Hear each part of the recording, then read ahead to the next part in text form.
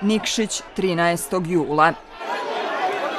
Dok se završavala proslava Dana državnosti na Trgu Slobode, gdje su bili građani sa crnogorskim zastavama, iz Bočne ulice stiglo je nekoliko desetina građana sa trobojkama i srpskim zastavama, pjevajući antimuslimansku pjesmu.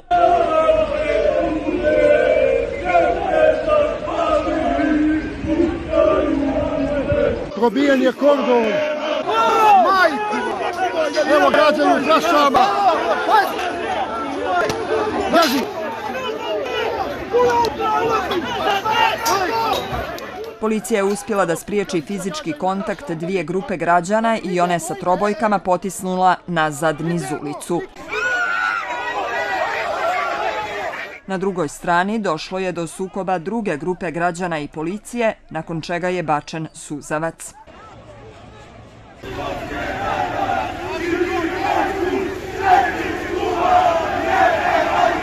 Jutro nakon nereda i pune ruke posla za radnike Nikšićke čistoće. Bio je svašta, smeće dosta je bio. Radili smo dobro. Danas je bio smeće i bacio se one vatrometi. Haos je bio teren. Ne vidim ništa, eto, jedan dva smo se proživili. Povrijeđen je određeni broj policajaca i građana, od kojih jedan policajac i teže. Nikšićko tužilaštvo pokrenulo je izviđaj o sinoćnjim dešavanjima, a Aleksandar Zeković iz građanske inicijative 21. maj saopštio je da je policiji podnijeta prva prijava protiv nepoznatog policijskog službenika zbog nesavjesnog postupanja jer je, kako tvrdi, ispalio patronu suzavca u Nikšićanku Ranku Božović koja je potom pala i slomila ruku. Ministar unutrašnjih poslova kaže da je Crna Gora juče slavila dan državnosti, da je tako bilo i u Nikšiću do jednog momenta. Sve do pojave jedne grupe građana koje slobodno mogu nazvati grupom provokatora s obzirom na njihove pokliče koje najiskrenije i najoštrije osuđujem i zaista pozivam sve nadležne da hitno reaguju, da ukoliko ima elemenata krivične ili prekršajne odgovornosti, kazne sve one koji su prekršili zakon. Neće proći nekažnjeno ko na bilo koji način ne bude postupao po naređenju policijskog službenika, ko bude ometao policijskog službenika u vršenju njegove e, njegove radnje. Prethodno su DPS i SDP pozvali Adžića da smijeni šefa Nikšićke policije Dragoljuba Pekovića, za kojeg tvrde da je dozvolio grupi sa trobojkama da dođe do trga i razbije skup. Militantni kleronacionalisti sa jasnim obilježime i namjerama imali su, nažalost, asistenciju policije kako bi izveli svoj jučerašnji naum.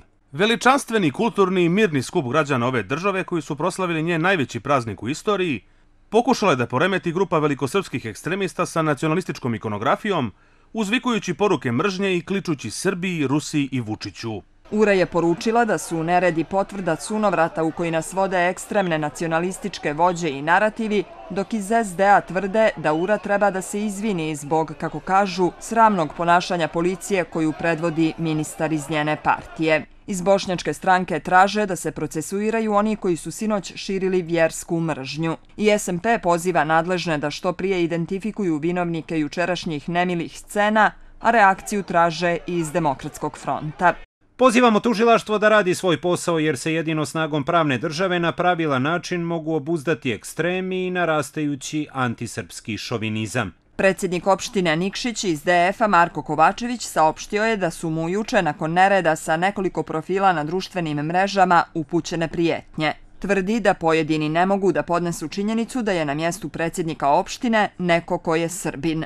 Vuk Maraš iz Medijske asocijacije Jugoistočne Evrope kaže da je sve ono što se sinođe dešavalo u Nikšiću još jednom pokazalo da naše institucije nijesu na nivou zadatka. Policija je ta koja treba da uradi sve, da fizički razdvoji te dvije grupe, da ne dođe do kontakta, da, ne do, da se ne bi desilo ono što se na kraju, što se na kraju uh, sinoć desilo. Adžić kaže da će se ispitati postupanje policije. Da smo mi već danas formirali komisiju u skladu sa zakonom koja će prispitivati da li su pripadnici upotreb, e, uprave policije prekomjerno upotrebljavali sredstva prinude i građani će zaista sa time biti upoznati. A građani Nikšića misle da je sve moglo biti drugačije. Moglo je sve da bude u redu, da je prethodnih dana dozvoljen koncert Sergeja Četkovića, da bude slavlje za sve. Isti smo narodi, isti smo ljudi, narodi, isti sugrađani, i državljani jedne države trebalo da bude mirno, fino, nažalost nije bilo. Iznenadila sam se.